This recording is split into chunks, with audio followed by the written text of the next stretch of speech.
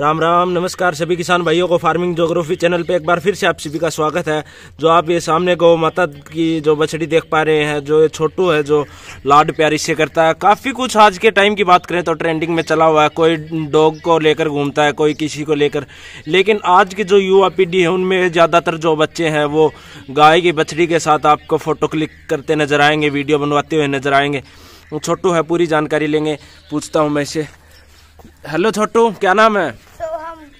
ये कहाँ से सीखा था कि गाय की बछड़ी को लाड प्यार करना है? ये कहाँ से सीखा था तूने? मेरी बहन सगुन से। अच्छा अच्छा। बहन सगुन से सीखा था? हाँ। छोड़ दे इसको खुला छोड़ दे गल में। हाँ यहाँ पास में आ मेरे। छोड़ दे छोड़ दे। किससे सीखा था? मेरी बहन सगुन से। अच्छा अच्छा। कौन सी क्लास में पढ़ता है तू? थर्ड बी अच्छा अच्छा। ये ज, किस टाइम इसको लाड प्यार करने कब आता है तू? जब मैं इधर आता हूँ, जब। अच्छा अच्छा जब भी फ्री होता है तभी। एक बार हाथ फेर के दिखा। ये देखिए, बिल्कुल कुछ नहीं कहती इसकी जो है, बिल्कुल गौ माता का जो प्यार है, वो इससे पता चलता है कि गौ माता आज भी किसानों के लिए किसानों के बच्चों के लिए या कोई भी जो हो, उसके लिए गोवंश इतना अच्छा लाड प्यार जो है, आपको गोवंश के अलावा किसी जानवर तो सभी अच्छे होते हैं लेकिन गोवंश को हिंदू धर्म की बात करें तो हिंदू धर्म में बहुत अच्छा माना जाता है।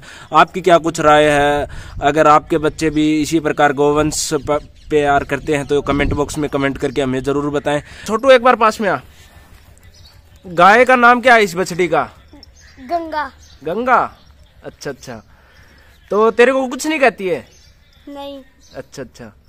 एक बार फिर से दिखाना हाथ फेर के थोड़ा सा। ये देखिए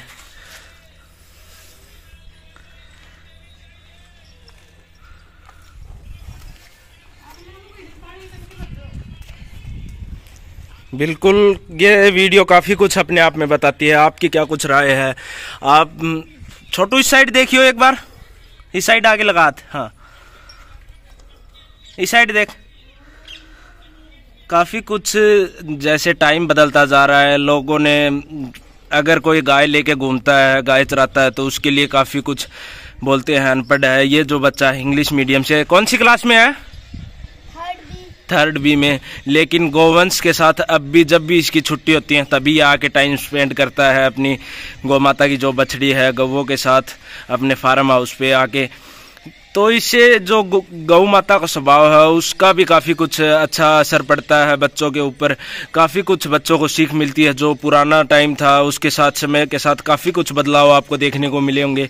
लेकिन गोवंश थी, वो कहीं ना कहीं बीच में कुछ टाइम पहले लोगों ने उसके ऊपर जो है मिक्स ब्रीड तैयार कर दी थी तो हमारी फ़ार्मिंग जोग्राफी चैनल की तरफ़ से यही है कि अगर आप ओरिजिनल ब्रीडिंग के ऊपर काम करोगे ना तो आपको सरल स्वभाव बिल्कुल वो देखने को मिलेगा। चाहे वो फिर बच्चे हों बड़े हों उनके साथ गौ माता अच्छे प्यार से रहती हुई नज़र आएगी। तो एक बार मैं फिर से दिखाना चाहूँगा। तो thank you Chhotu. Thank you नमस्कार। थैंक यू बोल दे। थैंक यू सब्सक्राइब करने के लिए तो और बोल दे। बोल दे फ़ार्मिंग जोग्राफी चैनल को सब्सक्राइब करें। फ़ार्मिंग जोग्राफी को सब्सक्राइब एंड लाइक करें। तो काफ़ी कुछ अच्छा लगा। अगर आपको वीडियो अच्छी लगी हो तो लाइक करें शेयर करें और फ़ार्मिंग जोग्राफी चैनल पर बने रहें। बहुत बहुत धन्यवाद। थैंक यू एक बात मैं आप सभी किसान भाइयों को बताना चाहूँगा जब आप पशु को डेली खुला रखोगे तभी आपको और भी ज़्यादा जो है सरल स्वभाव देखने को मिलेगा पशुधन का। इनको डेली खुला रखते हैं ना सुबह शाम। बिल्कुल, जब भी आप इनको डेली सुबह शाम खुला छोड़ोगे, क्योंकि आज़ादी का हक जो है फ्रीडम का हक सभी को है। ना कि इंसानों को चाहे कोई भी जानवर, पक्षी, कुछ भी हो फ्रीडम आज़ादी सभी को है। ताकि जब भी इनको खुला रखोगे तो इनका जो स्वभाव और भी काफ़ी निखर के आएगा। इनका रंग रूप, इनके जो है हाइट लेंथ काफ़ी कुछ बदलाव आपको देखने को मिलेंगे। तो बहुत बहुत धन्यवाद।